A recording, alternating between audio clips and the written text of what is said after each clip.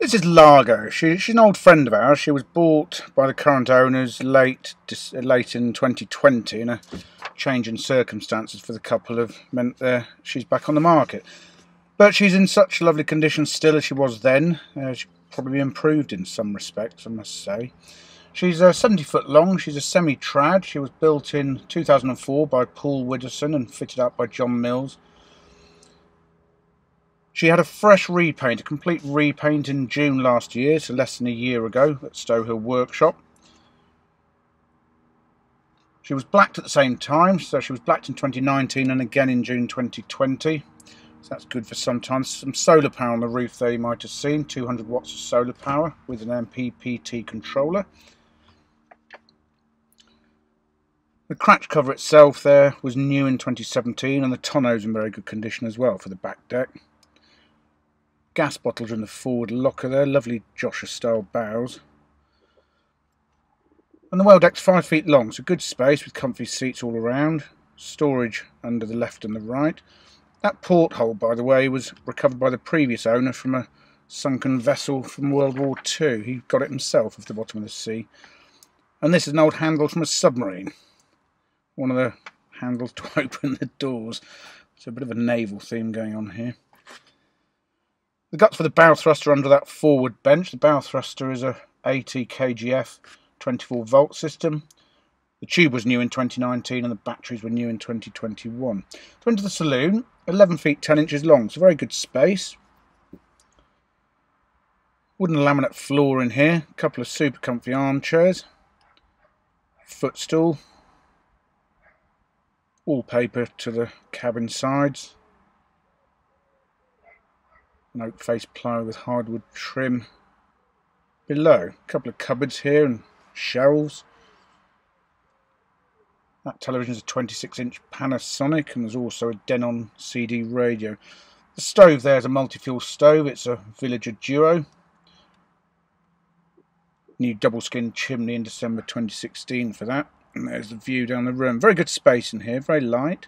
Head height on the boat is six foot six lighting is LED throughout. Then go into the galley, it's a walk-through galley, 9 feet 10 inches long, so generously proportioned again. The worktops are marble effect laminate, very well equipped in here, lots of storage.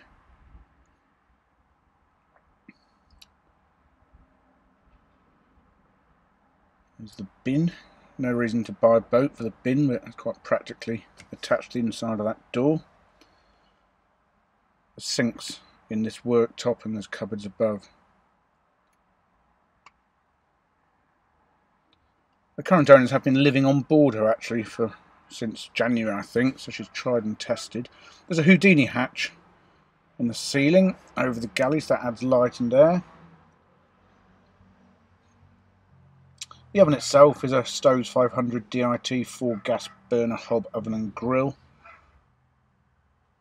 The fridge is a 12 volt shoreline, there is an ice box in there.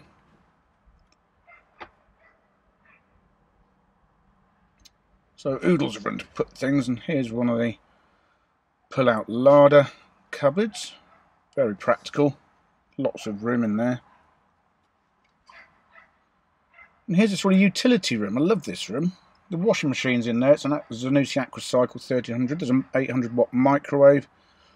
And just lots of shelving. It's really, really good room, that. The floor in here are granite tiles. And this is the bit I love about this room. It's the, the dining room. The dinette turns into a spare double berth. It's a beautiful table. Not sure what the wood is. Looks like walnut, but I might be wrong.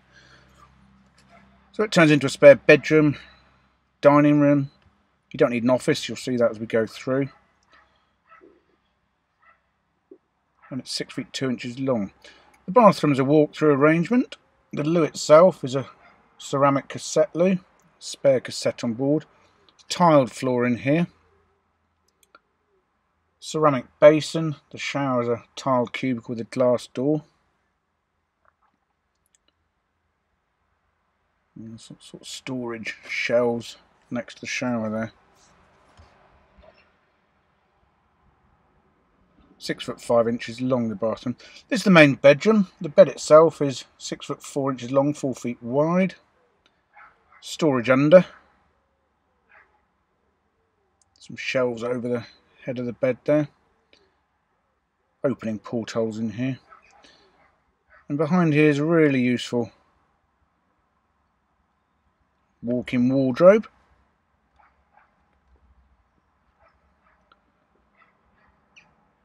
There's much storage on this boat there are on many houses, to be honest.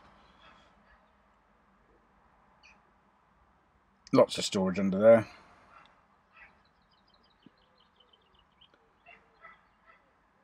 And then at the foot of the bed, it's fabulous this room. It's an office. Six feet ten inches long, so plenty of space, lots of shelving. Storage under the unit at the bottom there. Really practical room. You could turn it into a spare bunk room actually, it's long enough. And then we go to the semi-trad stern deck. The engine is a cocooned Beta 50 horsepower, very powerful. Super quiet when the engine's running under that cocoon. Batteries are in here, six 2 volt full traction batteries. Lovely social space on the back deck here. Storage under the seats, of course.